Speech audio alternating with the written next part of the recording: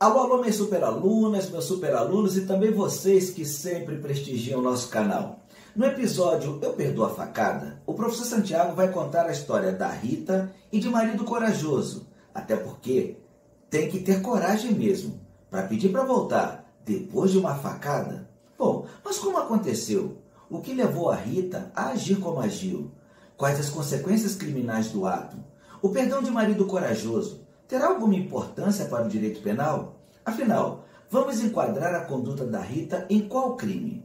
Essas são apenas algumas das questões que iremos estudar a partir de hoje. E, por fim, lógico, todos querem saber como foi a reconciliação do casal, para que nossa história, apesar de tudo, tenha um final feliz. Porque, contando histórias, contando casos, o super professor Santiago ensina direito penal. Mas me digam uma coisa: o título Perdoou a Facada lembrou algo conhecido? Ah, já sei. Provavelmente a música Rita, sucesso na voz de Thierry. Ô Rita, volta desgramada. Volta Rita, que eu perdoo a facada. E foi justamente a partir da composição de Thierry que o professor Santiago saiu em busca de outras situações parecidas para construir a aula de hoje. Contudo, somente vai saber como a história da facada irá terminar e qual a relação dela com a nossa matéria, quem assistir até o final o episódio de hoje da série Direito Penal Sem Segredos. E antes de começar, lembre, vocês já podem nos seguir no Instagram, arroba Professor Santiago Oficial, no Twitter, no Facebook e também no TikTok. E claro, inscrevam-se em nosso canal no YouTube. Porém, não esqueçam de ativar o sininho para vocês serem informados sempre em primeira mão e com exclusividade assim que nossa equipe postar uma nova aula. Se gostarem, deixem sempre seu like, curtam os vídeos anteriores e tem um detalhe: hoje, meus alunos, nosso diretor está feliz, ele está apaixonado e por enquanto não pegou no meu pé. Muito embora, só para variar, ele já esteja ali com uma plaquinha me alertando que nossa super aula começa daqui a 10 segundos, logo depois da vinheta de abertura.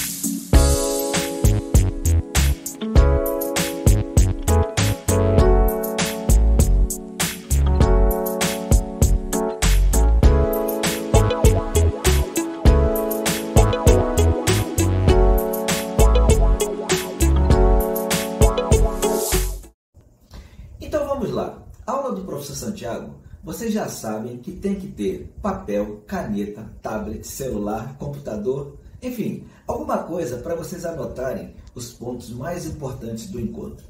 Mas também tem que ter pipoca, porque aula de direito penal com o professor Santiago tem história, tem casos. Ô professor Santiago, no episódio de hoje o senhor irá contar a história envolvendo a Rita e o marido corajoso, não é isso? Mas qual a relação desse caso com a nossa matéria?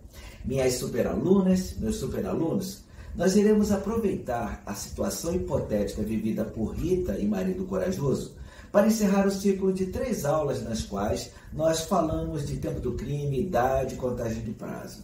Porém, faço um alerta que é fundamental que vocês revejam as superaulas números 2 e 3 pois vocês irão encontrar embasamento teórico necessário para dominar completamente o tema. Ainda assim, observe que o caso que será abordado hoje é inspirado em histórias reais e que foram modificadas para fins meramente didáticos com o intuito de auxiliar na compreensão do assunto.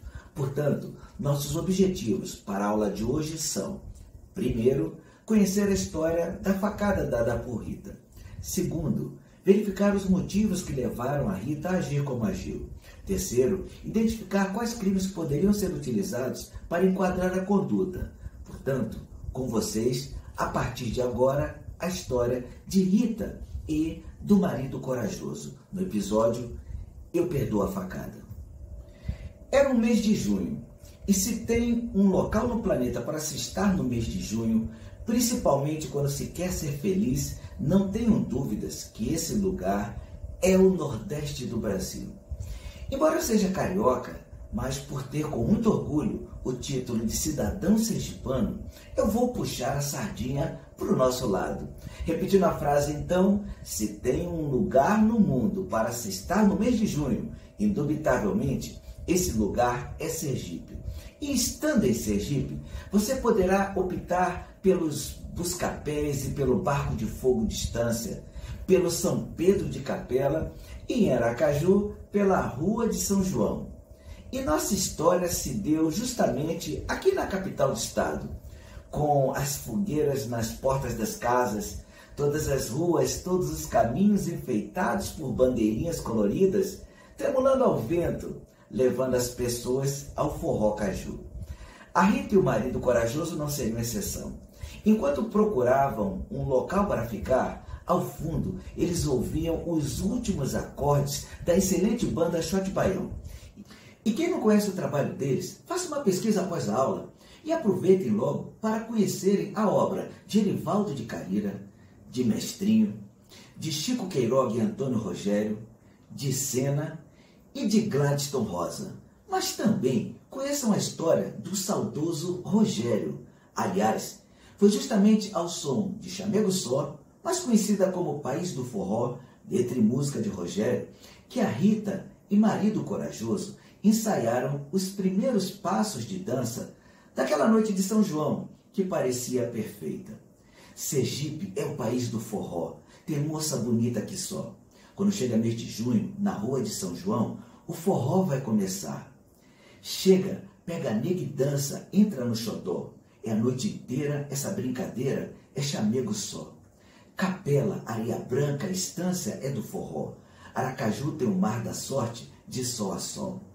E aquele clima festivo ficou ainda melhor quando no palco principal revezaram-se Alcimar Monteiro, Flávio José, Zé Ramalho e Elba Ramalho, que fez a felicidade de todos com um pupurri com as melhores músicas dos mestres Luiz Gonzaga e Dominguinhos. Mas, professor, uma noite como essa não poderia terminar mal, não é? Pois é, meus alunos, quem sabe? Como um casal com mais de 10 anos de convivência, pelas informações dos vizinhos, amigos e familiares, era um casal que verdadeiramente se amava. Mas como poderiam viver uma situação tão absurda como a que vocês vão ouvir na sequência? E tudo começou de repente.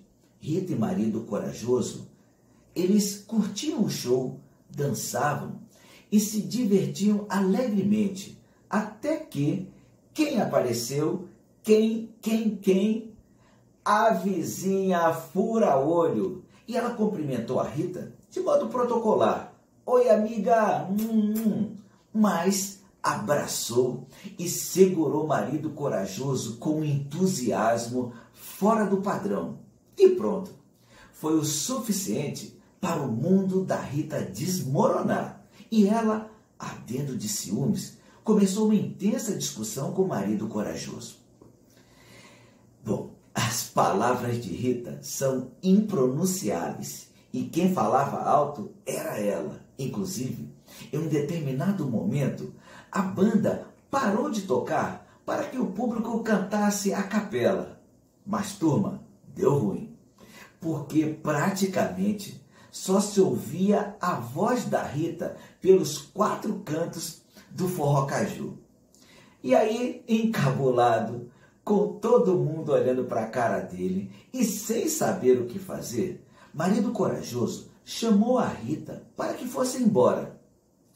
Nem preciso dizer que o bicho pegou mais ainda, pois na cabeça da Rita, se marido corajoso queria ir para casa, era porque, porque, porque porque ele só podia estar escondendo alguma coisa. Daí então, marido corajoso disse que iria ficar. Foi pior ainda, pois Rita disse que agora era ela quem queria ir embora. Afinal, na cabeça da Rita, para ele ter mudado de ideia tão rapidamente, era porque, porque, turma, porque ele só podia estar escondendo alguma coisa. Aí marido corajoso desistiu e disse que ela decidisse se era para ir ou se era para ficar. Gente, e se eu disser que a situação piorou ainda mais? Isso porque na cabeça da Rita. Ele deixar que ela decidisse o que fazer, coisa que ele nunca fez na vida, só poderia ser por quê? Por quê? Porque meus alunos, todos juntos, aí em casa, na rua, no carro, na praia, onde quer que vocês estejam assistindo a aula. Por quê? Por quê? Porque ele só podia estar escondendo alguma coisa. Pois, depois dessa, marido corajoso resolveu sair dali e ir embora de verdade. Inicialmente, com raiva, a Rita ficou no local de costas, fingindo que não estava nem aí para o destino de marido corajoso. Porém, o tempo foi passando, Rita foi olhando de rabo de olho, depois começou a virar o pescoço, até que percebeu que marido corajoso tinha desaparecido mesmo. Meus alunos, vale fazer uma ressalva acerca da vizinha fura-olho. Ela, inegavelmente, fez aquilo para provocar a Rita. E isso é fato. E pior, ela ficou acompanhando a briga do casal de longe. E ao notar que marido corajoso estava saindo do forró caju sozinho, a vizinha fura-olho foi atrás conseguiu alcançá-lo já no ponto do táxi e novamente investiu sobre ele. O empurrou para dentro do carro e mandou o motorista dar a partida. Justamente nesse instante, a Rita apareceu. Correu atrás do carro, mas não obteve êxito. A vizinha fura-olho, então, hum, mandou o motorista ir para o motel mais próximo.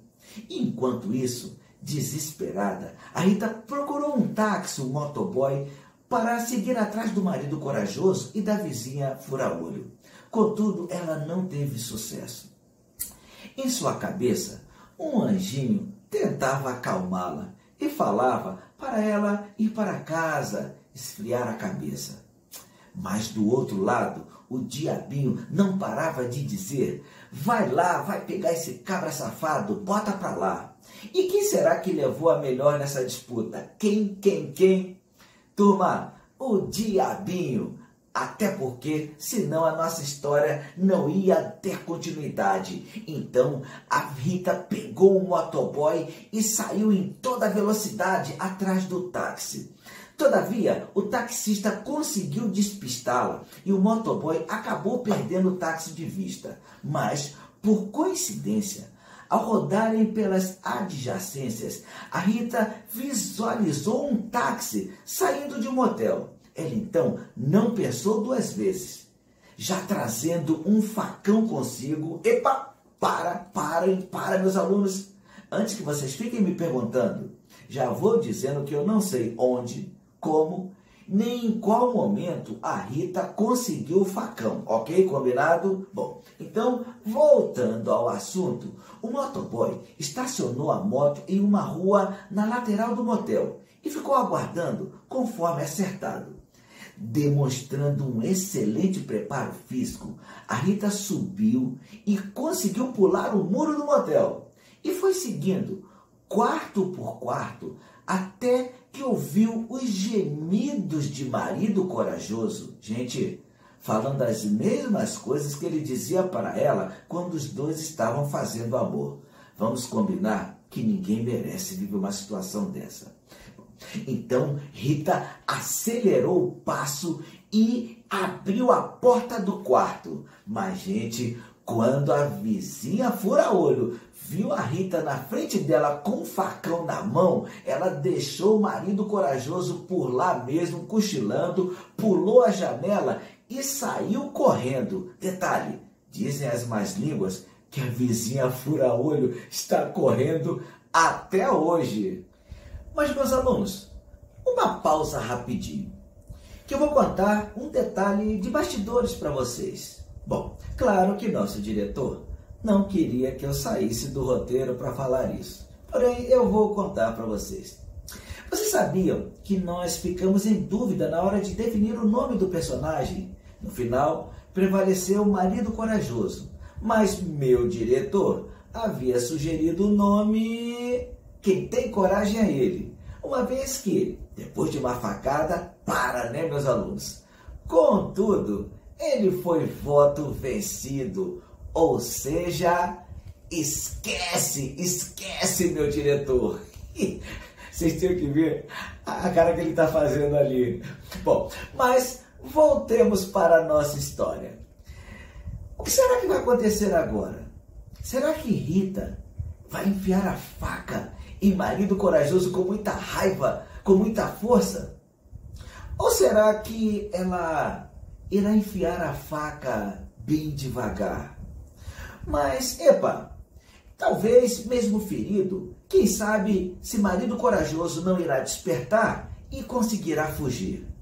Façamos uma nova pausa então. Observem que o desfecho desses eventos é muito importante para a análise jurídica do caso em estudo. Como assim, professor? É, turma. Vejamos então. O possível enquadramento da conduta de Rita, nós já temos uma certa ideia, já que sabemos que o marido corajoso não irá morrer. Então, dependendo de como as coisas irão evoluir, a Rita será responsabilizada pelo crime de tentativa de homicídio. Porém, precisamos de mais informações para saber também se poderemos enquadrá-la no crime de lesões corporais. Inclusive, o tipo de lesão sofrida por marido corajoso será fundamental para definirmos se podemos falar que a Rita cometeu o crime de lesão corporal de natureza leve em casos de violência doméstica ou se houve lesão corporal de natureza grave ou gravíssima. Epa, professor, mas espera aí. O crime de violência doméstica não seria sempre praticado pelo homem contra a mulher? Não, não, não, de jeito algum, meus alunos. Esse é um erro bastante comum. Então, muitíssima atenção, meus alunos. O artigo 129, parágrafo 9 do Código Penal, que traz uma pena de três meses a três anos de detenção, não tem como sujeito ativo apenas o homem podendo ser praticado então tanto pelo homem quanto pela mulher. Ambos podem ser sujeitos ativos ou passivos do crime de violência doméstica. Aliás, pode-se falar em violência doméstica sempre que a lesão corporal, de natureza leve, tiver sido praticada contra ascendente, pai, avô, descendente, filho, neto, e também contra irmão, cônjuge ou companheiro, ou com quem a pessoa conviva ou tenha convivido, ou ainda, prevalecendo seu agente, das relações domésticas de coabitação ou de hospitalidade. Todavia, para se falar no crime de lesão corporal em casos de violência doméstica, a lesão causada precisa ser de natureza leve ou simples. Por isso, precisamos saber o desfecho da questão, principalmente para verificarmos se o fato de marido corajoso ter perdoado teria ou não algum efeito para o direito penal.